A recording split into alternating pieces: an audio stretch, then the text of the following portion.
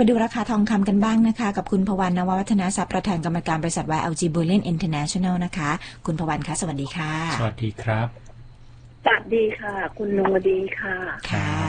ก็เมื่อวานคุณเอ่อเมื่อวานทองคำเอ่อราคาโคเม็กซ์ก็ขยับปรับขึ้นมาได้นี่นะคะ แต่ทีนี้เนี่ยจะเป็นเพียงแค่ระยะสั้นหรือว่าจะแนวโน้มจะเป็นยังไงต่อจากเนี้ยค่ะ คุณพวันคะต่อจากนี้ไประยะเวลาสองถึงสามอาทิตย์น่ะนะคะ น่าจะน่าจะดูว่าโพแต่ละครั้งที่ออกมาเนี่ย จะออกมาว่าใครจะเป็นแคนดิเดตใหญ่ที่น่าจะได้มาเป็นประธานเฟดคนถัดไป เพราะว่าประธานเฟดถ้าได้คนถัดไปเป็น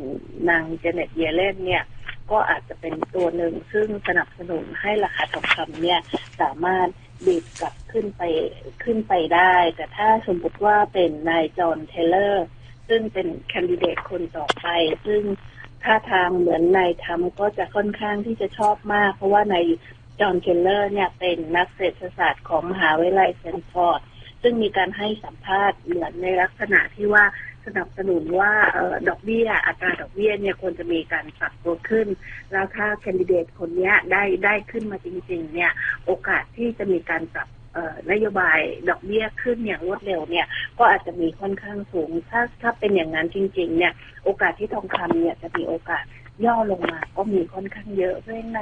สองสามอาทิตย์ก็คงจะต้องมาดูว่าโพแต่ละโมเมนต์ที่ออกมาเนี่ย จะมีการสนับสนุนใครหรือว่ามีการ ที่จะแนวโน้มไปทางไหนก็คงจะต้องเป็นทิศทางเอ่อราคาทองคำในระยะใกล้นี้นะคะค่ะส่วนตัวตัวไอ้ปัจจัยถัดไปที่ค่อนข้างสำคัญก็คือปัจจัยที่ในทรัมป์จะมีการปรับเอ่อลด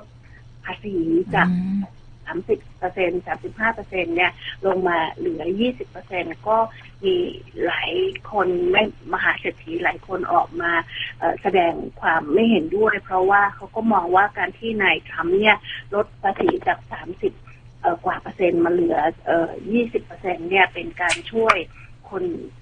ซึ่งมีเงินอยู่แล้วเป็นบริษัทใหญ่เพราะฉะนั้นเนี่ยถ้ามีการลดเข้ามาจริง ๆ รายได้ของประเทศเนี่ย จะหายไปประมาณหก ล้านล้าน US ดอลลาร์ ซึ่งจะอาจจะทำให้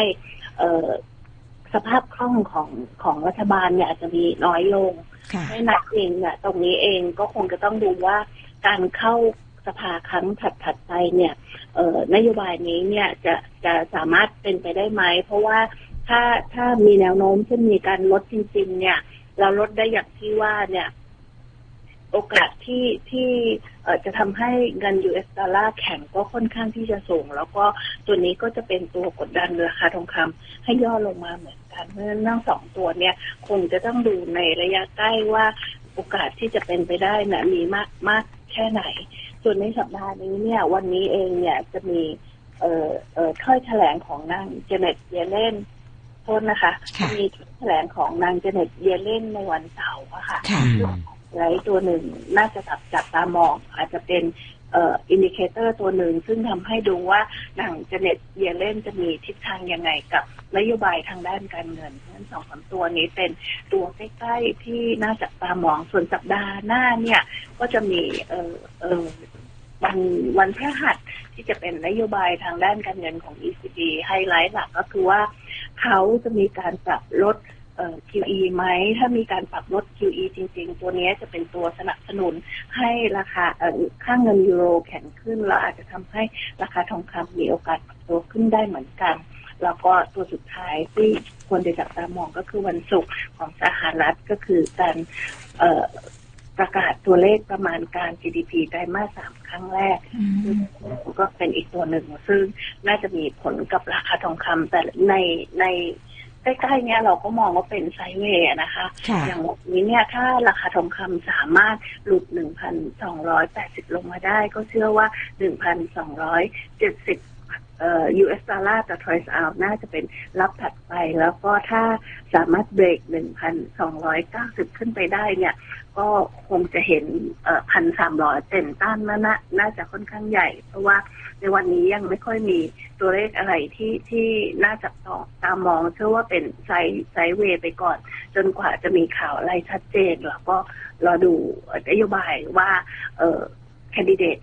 คนต่อไปจะเป็นใคร เพราะว่าถ้าเป็นสายเหี่ยว อันนั้นจะเป็นตัวกดดันราคาทองคำแต่ถ้าเป็นเอ่อสายสายนกพิราบก็คงจะเป็นตัวหนึ่ง ซึ่งสนับสนุนราคาทองคำให้โตขึ้นได้ค่ะ ค่ะเอาละค่ะวันนี้ขอบคุณมากค่ะ